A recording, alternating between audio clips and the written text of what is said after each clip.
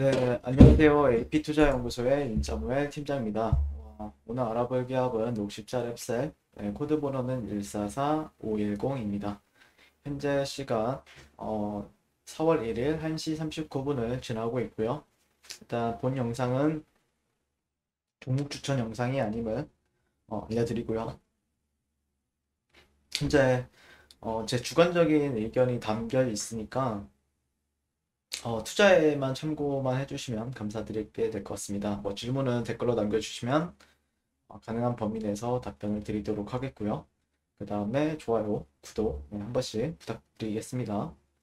일단 녹십자 랩셀 같은 경우에 어, 일단 네, 오늘 조금 반등을 해주는 흐름이긴 한데 어, 어떻게 어떤 시그널이 형성이 될지는 좀 지켜봐야 될 것 같아요.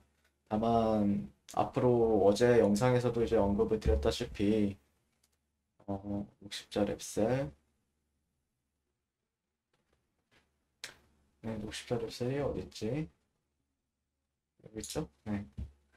한 방이 더 필요하다 이렇게 말씀을 드렸어요. 근데 그 한 방이 뭐가 될지는 좀 지켜봐야 될 것 같은데 지금 오늘 새벽에 나온 뉴스가 있죠. 네.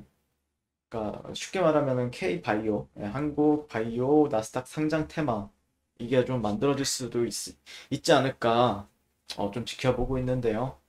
이게 무슨 말이냐면은 쿠팡이나 뭐 최근에 이제 쿠팡이 상장을 하고 그 다음에 뭐 마켓컬리라든지 아니면은 뭐 최근에 두나무라든지 어, 미 나스닥의 상장에 대한 기대감이 조금 존재하는 종목들이 몇 종목이 있죠.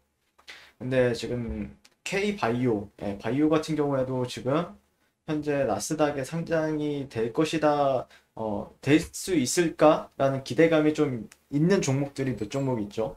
그 중에 하나가 이제 대표적으로 아티바, 네, 어, 녹십자 홀딩스와 녹십자 랩셀이 어, 투자하고 있는 아티바라는 기업이 있죠. 네. 그래서 여기 보면은 지난 2019년 3월 GC 녹십자 홀딩스와 녹십자 랩셀은 연구 개발을 위한 기업 아티바를 미국에 설립을 했고 어, 녹십자 홀딩스가 16.4%, 녹십자 랩셀이 7.2%의 지분을 보유하고 있다. 그래서 아티바가 지난 1월 글로벌 비파마 워크에 어, 2조 861억 원 규모 NK 플랫폼 license out을 하며 기술력을 어, 입증했다. 이렇게 얘기를 하고 있고요. 실제 이게 의미 그 우리나라에서 큰 호재이기도 한데 사실 이렇게 되었을 때 얘기가 되는 게 기술력이 입증이 되고 어, 미국 기관 투자자들의 투자가 이제 그러면은 될 수 있겠죠. 그다음에 글로벌 빅파마의 기술이죠. 네, 이게 이제 지금 아티바가 이 정도에 와, 와 있는 상황이고 그로 인해서 글로벌 기관 투자자들이 추가적으로 또 투자를 하느냐.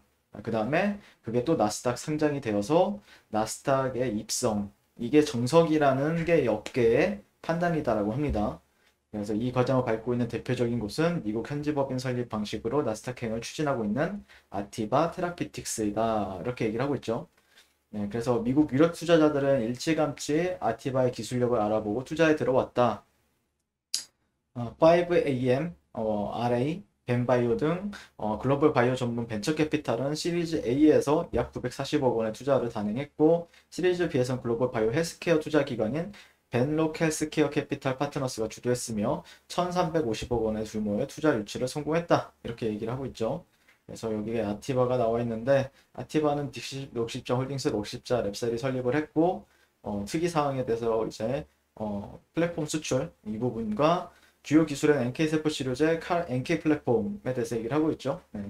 그리고 투자자들이 어디에 이렇게 되어 있는 걸 어, 볼 수가 있고요. 그 다음에 미국 법인 설립이 따라서 이제 나스닥에 어, 좀 상장이 될 것이다. 라고 이제 기대감을 모으고 있다. 라고 생각을 하고 있어요. 이게 보시면 아시겠지만 최근에 이제 주도, 시장 주도 테마가 뭐 대선 테마 인맥주들도 있겠지만 네, 뭐 쿠팡 이후에는 쿠팡 전에는 쿠팡이 이제 주도를 했었고 그 다음에 뭐 마켓컬리라든지 두나무라든지 아니면 여러 뭐 티몬이라든지 이런 것도 이제 조금 계속해서 언급이 되고 있죠. 네, 크래프톤이라든지 네, 계속해서 그게 좀 메인 테마로서도 좀 역할을 하고 있고요. 현재 그런 관점에서 좀 지켜봐야 될 것은 어, 새로운 또 테마가 만들어지느냐 K바이오의 나스닥 상장 테마가 한 번 더 만들어지는가에 대해서 어, 한번 지켜봐도 괜찮지 않을까라고 생각을 하고 있고요. 그래도 가격적인 부분들도 좀 주목을 하셔야 되겠죠. 예, 가격적인 부분들 같은 경우에는 뭐 특별한 기준은 없습니다. 예, 돌파된 지지 라인이 지지 받는가? 예, 이 라인이 깨지 않고 어, 지지 받아주는가에 대한 관점만 보시면 되겠다. 예, 지지만 받아준다라고 하면은 뭐 이후에 올라가게 되면 알아서 이제 그런 모멘텀 부각이 될 것이다. 이렇게 생각을 하고 있고요. 예, 그래서 그런 관점에서 한번 지켜보고 볼 필요는 있다라는 관점이고 흐름 자체는 뭐 상당히 뭐 나쁘지 않아요. 예, 뭐 특별히 뭐 어, 나쁘다 좋다를 떠나서 예, 나쁜 흐름은 아닌 것으로 지금 판단을 판단을 하고 있습니다. 흐름도 예, 1,900원 예, 여기서 반등이 나왔고요. 여기서는 보통 이제 어떤 패, 하모니 패턴이 좀 나오죠. 어떤 패턴이냐면은 보시면은 이런 패턴 관점에서도 접근할 수 있을 만한 가격대죠. 네. 이런 흐름. 네. 이런 흐름을 좀 기대를 해보고 있는데 좀 지켜봐야 될 것 같아요. 그 부분에 있어서는요. 네, 이상 녹십자 랩셀에 대해서 리뷰를 마치게 될 것 같고요. 오늘도 시청해주셔서 감사드립니다. 네, 그리고 무료 추천 종목을 매일매일 드리고 있습니다. 네이버에서요. AP투자연구소를 검색하시고요. 웹사이트 상단에 AP투자연구소 홈페이지로 갈 수 있는 링크가 나옵니다. 어, 클릭하시게 되면 홈페이지로 접속을 하실 수가 있고요. 어, 그 밑에 무료 추천 종목, 네, 2021년 무료 추천 종목이라고 적혀 있죠. 네, 여기를 클릭하시게 되면은 매일매일 저희 소장님께서 댓글로 리딩을 도와드리고 있습니다.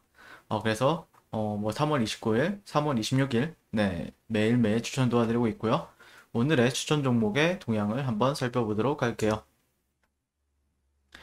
어, 7시, 아, 어제 거였군요. 네, 여기죠.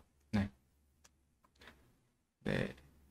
7시 45분부터 어, 댓글 리딩에 들어가신 걸 볼 수가 있고요. 간밤에 있었던 미증시에 대한 설명부터 상승과 하락에 대한 이유까지 댓글로서 리딩을 도와드리고 있습니다. 자, 그리고 9시가 되면요. 추천 종목이 나가게 되고요. 종목명, 어, 매수가, 1차 목표가, 손절가가 함께 제시가 됩니다. 자, 오늘 같은 경우에는 KPS 현재가 16,900원 기준 매수, 1차 목표가 17,400원, 손절가 16,400원으로 대응합니다. 어, 이렇게 종목이 나갔고요. 네, 그래서 그랬을 때 이제 주가가 상승하게 되어 목표가에 도달했을 때는 목표가에 도달했다고 댓글로서 리딩을 도와드리고 있고 하락하면 하락하게 되었다고 손절에 대한 리딩도 함께 해 드리고 있습니다.